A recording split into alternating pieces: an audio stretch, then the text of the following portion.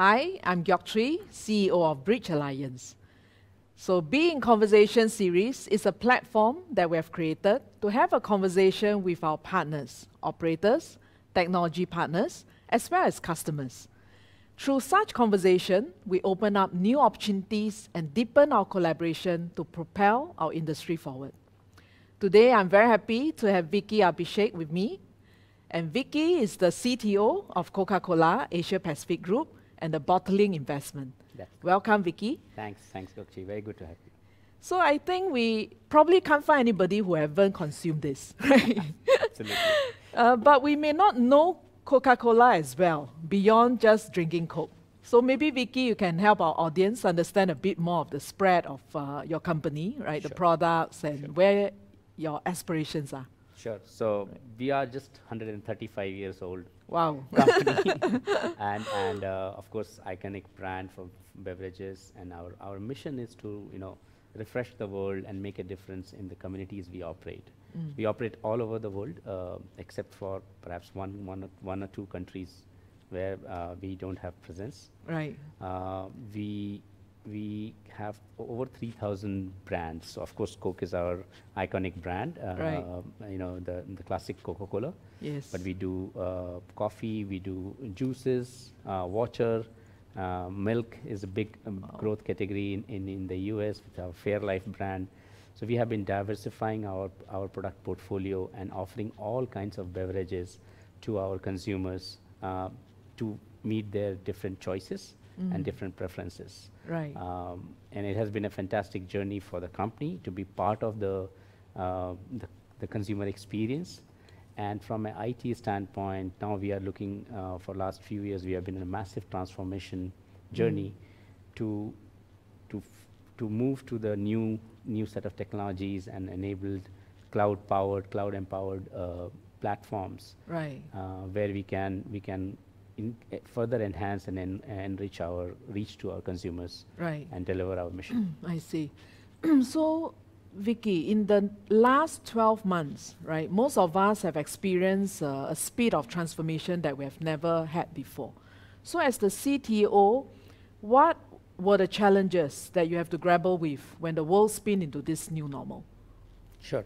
So, uh, I mean, the first thing is because we had been on a massive journey of cloud adoption and digitizing our enterprise, uh, it was fairly seamless for us to switch over in working remotely. Oh, Um, of course, our production facilities and our plants, we had to make adjustments, but for most of the enterprise, uh, switch over to work remote was fairly easy. That's and lucky for you. Unnoticeable because of all the hard work done before, right? and Right. platforms, engineering work which we did earlier to simplify our environments. Um, and but when we started realizing our focus shifted to protect our communities, which is including our workers, our frontline salespeople, our uh, factory workers, our operators on the ground.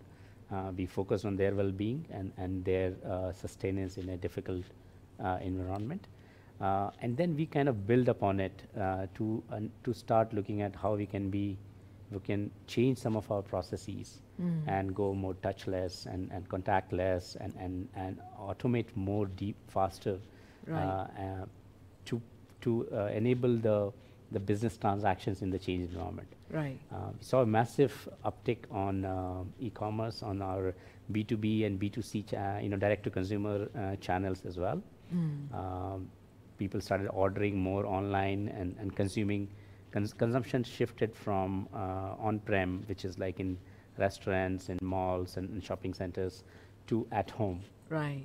That's a diff- that's another uh, significant change Mm. uh, which we experienced uh, during this pandemic time. Right. Um, so massive growth on e-commerce, uh, move, move, movement of uh, you know consumption at home increased quite a lot, right. and and uh, now we are seeing things kind of settling into a more regular rhythm. We had a fantastic last quarter and the first quarter of this year, and and I hope thing, the things are keep going up from here. Mm, right. So, in this uh, shift in terms of consumer behaviors and how we work remotely, you know, within uh, with a distributed workforce, I'm sure uh, technology plays a key part, right? And what's your view about emerging technology that might then open up new possibility for all of us, whether in the way we work or the way we serve our community and our consumers? Sure. So absolutely, and, and consumer is at the center of all our activities, right? Mm. Uh, we continuously thrive as an organization to have deeper and better understanding of a consumer, their taste, their preferences, Right. their choices, and cater to them through our product, uh, you know, and product supply, deliveries, back end, all the Mm. supply chain processes are targeted at that.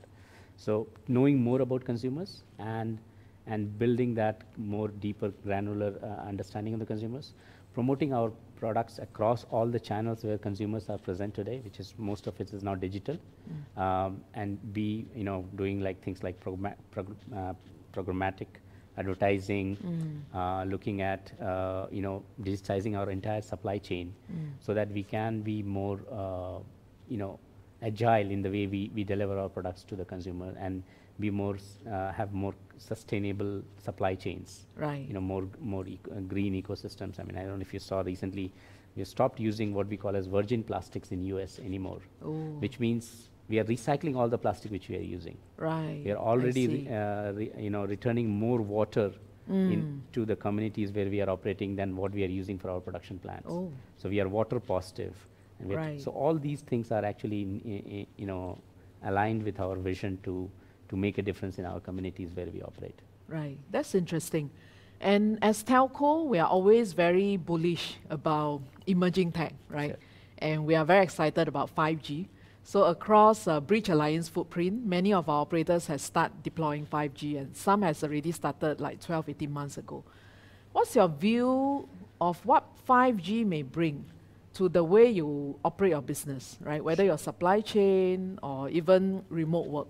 Because Vicky, I know you are uh, visionary, right? You have already moved uh, from fixed line to mobile uh, way back uh, when people are still exploring.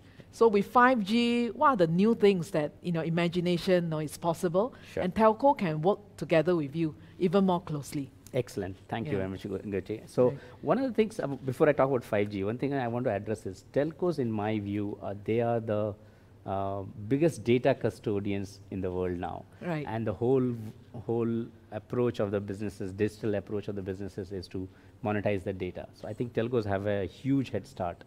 You know, imagine one, uh, some, one company running one app on a phone versus the entire consumer which has all the SIM card and you have all the location data and, and the demographics of the consumer. So telcos have to start thinking about monetizing it in a more active and promote. And I think Bridge Alliance and the team is doing a great job in thinking on those lines and coming up those use cases.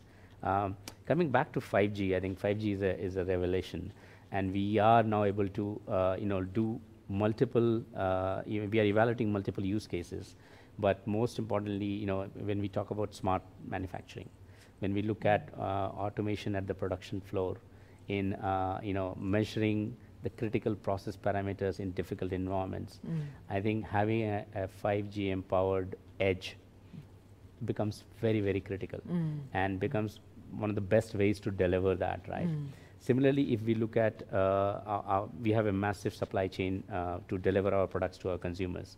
Our trucks our warehouses our invent you know they're constantly on move to track them uh, and to make sure they are you know they are being d- executed in the right way and maximize the the value of the, uh, the of that supply chain and another 5G u- uh, place is there.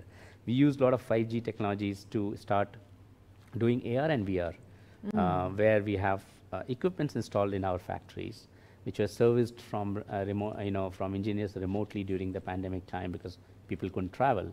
Right. But we could use, uh, you know, simple uh, VR technologies to take instructions remotely from engineers and, and, and, and still service the equipments which are installed in other parts of the world. So there are, there are a lot of places where 5G can become uh, immensely useful to the business.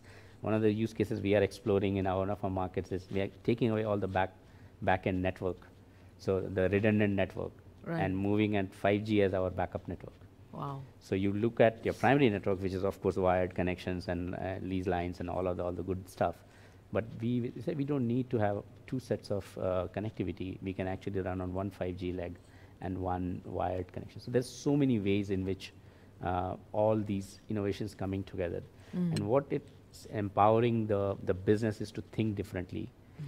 and you know attach that 5G technology to the lower cost of sensors, the wide variety of choices of our PLCs and, and, and, and our uh, automation partners, uh, it's just becomes so powerful. It kind of amplifies their impact to the business uh, from that perspective. Right. And, and there's a lot of experimentation going on right now. There's, uh, there's still needs to be some more standardization across multi-market 5G uh, s- uh, technologies for enterprises at our scale to take full benefit of it. And we are looking forward to it, and we have discussed it in our uh, multiple earlier conversations as well. Just like how we did with the mobile world, with the data roaming, voice roaming, uh, and interconnectivity between operators. I think we have to f- start figuring out ways to interconnect our 5G capabilities as well, a- at least standardize it, Right. and, and allow the enterprises to consume it at scale Right. across boundaries, across telco boundaries. Yep. So yeah. that's- I that's the think future. yeah, I think that's really interesting.